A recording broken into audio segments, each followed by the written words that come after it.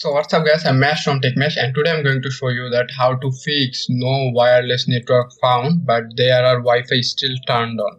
Okay, so before getting started I would suggest you to please hit the like button and also subscribe to my channel and hit the bell icon for more future videos like this one. So let's get started, shall we? So at first just let me show you what is the problem. So just if you go to your Wi-Fi section here, in my case it is perfectly working fine so in your case, your Wi-Fi would be turned on like this, but there wouldn't detect any network. Nearby any Wi-Fi wouldn't be detected by your computer. Okay.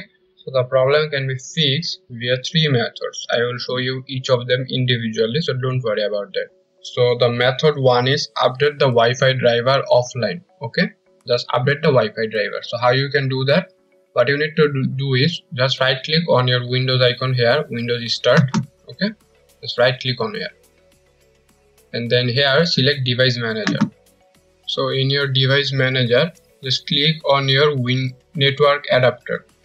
In your device manager just click on network adapters okay? So here you will see a lot of network adapter option.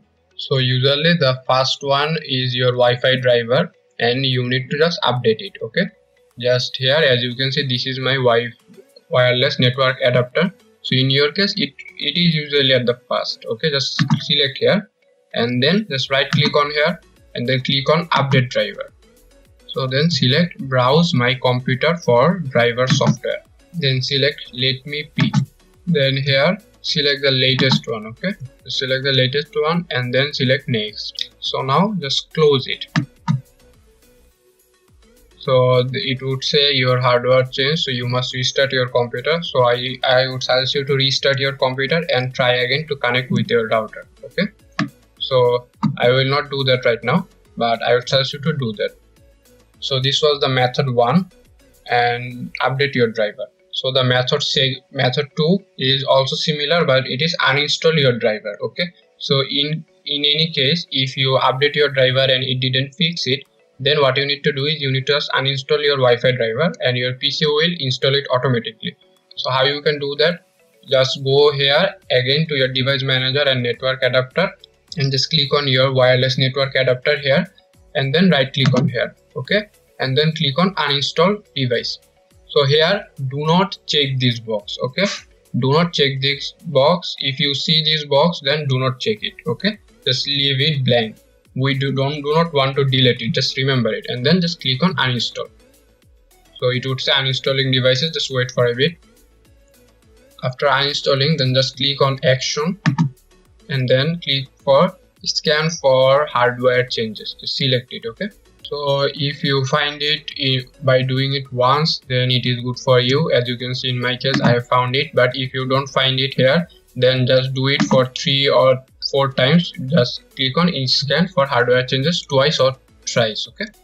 So your driver will be back if you de didn't deleted your driver in the previous step so i would suggest you to do the restart after each process. So just try to restart your computer again after doing this process. And then finally the method third method is just restart your windows explorer. So how you can do it? Just right click on your taskbar here and then select task manager. So in your task manager just come to your process section here and then here scroll down to windows explorer okay?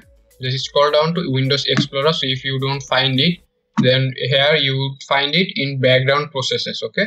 Just come to background process and here you will find windows explorer. Just click on here and click on restart. And now just wait so in a couple of seconds your windows explorer will restart. This would 100% fix your problem so hope your problem was fixed. If you have faced any problem then let me know that in the comment section below. And if it fixed your problem then hit the like button. And please subscribe to my channel and also hit the bell icon for more future videos like this one. So i am Mash from TechMash and i am signing out